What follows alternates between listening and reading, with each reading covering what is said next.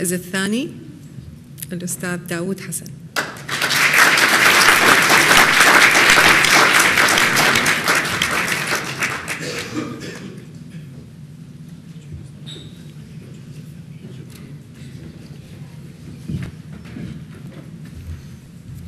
هذا شوي اشيل قلب هاي السسبنس يصير الأول بعد خمس دقائق.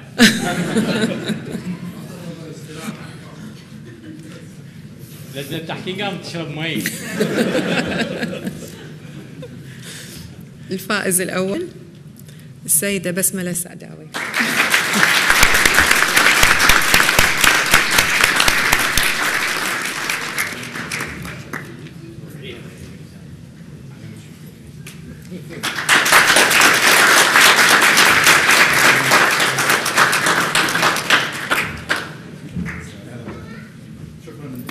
مبروك للفائزين وتبقى آه، تثمينا لجهود ال- الفنانين ال- الآخرين اللي شاركوا بال- بالمسابقة نقدم لهم جوائز رمزية وبالحقيقة زجاجيات لتخليد هذه المناسبة.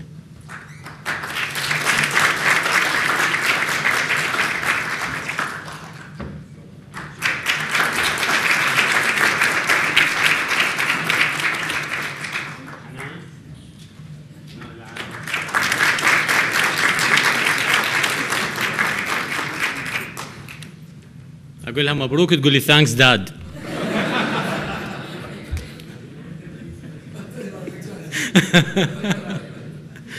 طبعا آه، لا لا يفوتني أن أشكر آه، ال- الأخوة لجنة التحكيم لجهودهم ال- الاستثنائية.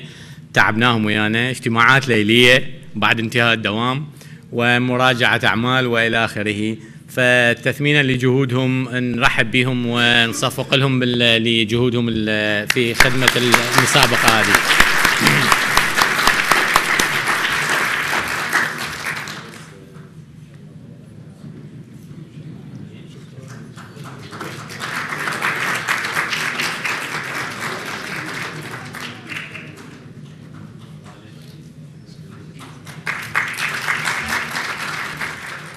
طبعا في نهاية هذا ال- الحفل وأرجو أن استمتعتوا بهذه ال- اليوم ال- مع مع جمعية الكندي.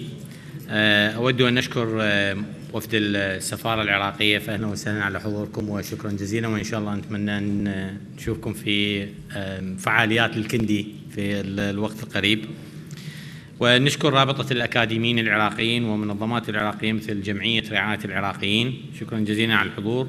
ونشكر المنتدى العراقي ورابطة المندايين رابطة المرأة العراقية جمعية الأطباء وممثليهم جمعية القانونيين و آم، نتمنى لكم يوم يوم سعيد وإن شاء الله نلتقي بكم في مناسبات قادمة ومسابقات أخرى. فاتني أن أقول أنه آه، هناك اجتماع لل AGM الاجتماع السنوي لجمعية الكندي قريبا وإن شاء الله راح نعلن الموعد النهائي خلال خلال هذا الأسبوع أو الأسبوع القادم. وفي نهاية هذا اللقاء أود أن أشكر قناة السومرية الفضائية على دعمها لهذا الحفل وهذه المسابقة ونتمنى أن تسنح الفرصة لأعمال مشتركة في الوقت في المستقبل شكرا جزيلا لحضوركم مرة أخرى وأهلا وسهلا بكم مع السلامة أنا اسمي الدكتور علاء العاني آه، رئيس لجنة مسابقة آه، جمعية الكندي السنوية لهذا العام. آه، جمعية الكندي تأسست قبل أكثر من آه، 16 أو 17 سنة في عام 91 وتهتم برعاية المهندسين آه، في بريطانيا آه، يعني بصورة رئيسية العراقيين والعرب.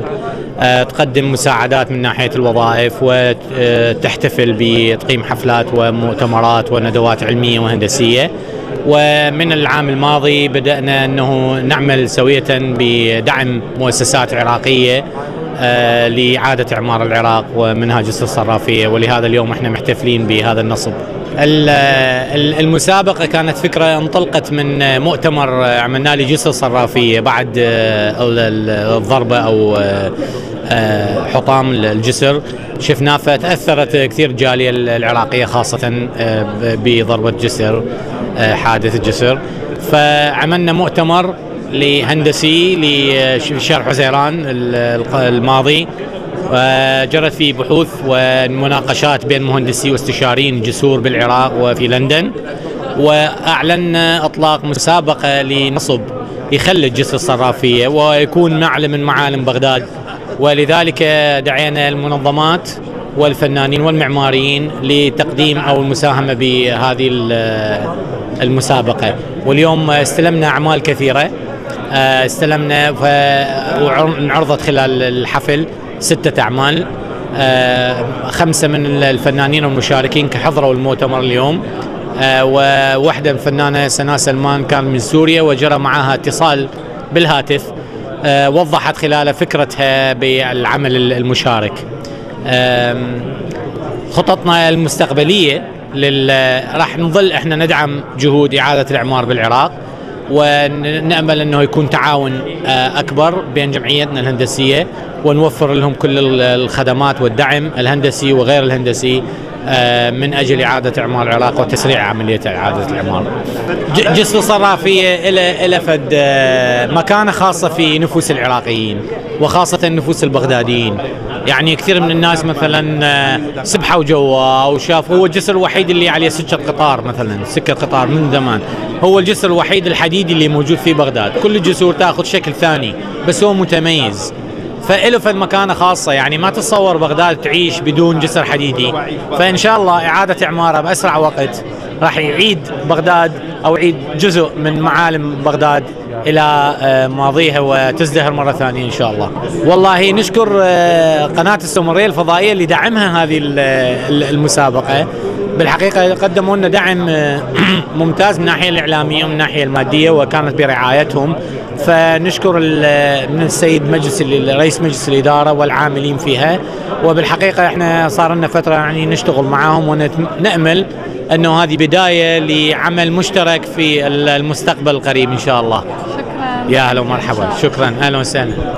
الجمعية الكندي تعمل كجسر الحقيقة بين المهندسين العراقيين داخل العراق وخارج العراق. لنا برامج كثيرة للتدريب والتطوير.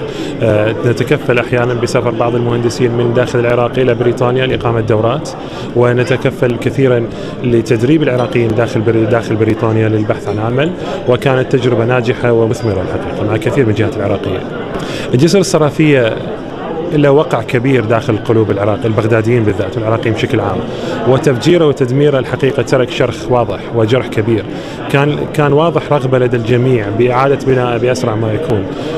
وعمق الجرح الحقيقة حركنا جميعا في جمعية الكندي للمبادرة. اولا بإقامة المؤتمر مؤتمر جمعيه الكندي بخصوص جسر الصرافية. وها نحن نفي بمواعدنا بإقامة مسابقة سنوية لتصميم نصب تذكاري يخلد معالم الجسر.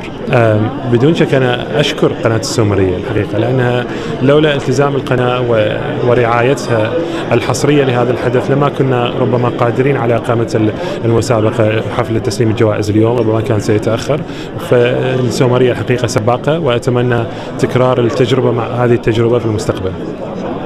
شكرا. شكرا. شكلت اللجنة قبل أسبوع أو أكثر من أسبوع على أن يتولاها آه، شخص مهتم في البعد الثقافي العراقي وآخر مهتم في الفن التشكيلي وثالث معني بالهندسة المعمارية على أن تتمازج الآراء لاختيار أحد الستة نماذج التي قدمت لنا ميدانيا واجتمعنا من أجل تقويمها واتخذ في التقويم أساليب عدة ومعايير عدة. أولاها قدرة الستاتيو التمثال أو النصب على أن يدرك بسهولة من قبل الآخرين.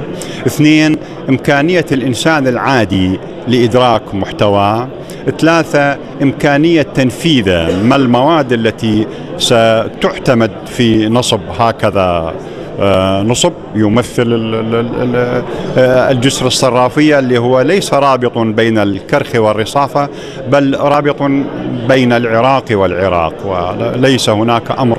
واتخذت الآراء مجتمعة على أن يفوز ثلاث من بين ستة على اعتبار أن الجائزة الأولى والجائزة الثانية والجائزة الثالثة وفق المعايير التي أشرت إليها في بداية كلامي. قطعا العراقي هنا يعني كما يقال بالعامية قلبه محروق مرتبط ببلده. وقبل عام عقد مؤتمر كان قد حضره المرحوم بهاء ناجي الذي استشهد بعد عودته. المقترحات التي أتتنا الستة هي من عراقيين من خارج العراق واللجنة التي شكلت هي من عراقيين من خارج العراق واللجنة المنظمة هي من عراقيين من خارج العراق. وهذا يشير إلى أن العراقيين في الخارج ممثلون للعراقيين في الداخل وهذا رابط أساس نحن نتابع ما يحدث بالعراق وننزف دما لأي خبر يأتي. وتجسر الأعماء الأفكار كلها ما بين عراقيي الخارج وعراقي الداخل. أنا لست ميالا إلى تعبير عراقي الداخل والخارج. هؤلاء أتيحت لهم الفرصة بأن يغادروا أن يهجروا أو يهاجروا بالرغم منهم. وأولئك بقوا. وأولئك نسميهم المرابطون وهؤلاء نسميهم المهجرون أو المهاجرون. أنا لست من هؤلاء ولا من هؤلاء لأنني مستشار ثقافي في سفارة العراق في لندن. للنشاط هذا قدرة على لم شمل العراقيين الإجابة قطعا نعم. الأستاذ الدكتور عبد الله الموسوي المستشار الثقافي في سفارة جمهورية العراق لندن. بالحقيقة مشاركتي الأولى لهذا لهذه المسابقة هي لأجل إعطاء ولو نبذة بسيطة عن حبي للعراق ولتخليد صمودي هنالك في بغداد. طبعا أنا سعيدة بشكل كبير ليست بالجائزة الأولى فحسب لكن أمنيتي الكبيرة والسعادة الكبيرة هي أن هذا المجسم سوف يقام هناك على أرض بغداد ليظل ذكرى لكل العراقيين كبارا وصغار. طبعا المجسم كما هو واضح هي يد منطلقة من المياه منبعثة من المياه آه، منتشلة لأجزاء جسر الصرافية. عندما هو جريح في آه، مياه دجلة فهي تحمله لترفعه إلى أعالي السماء. فكما قلت أن الجسر يأبى إلا أن يرتفع. شكرا أهلا وسهلا. شكرا جزيلا. حيوان.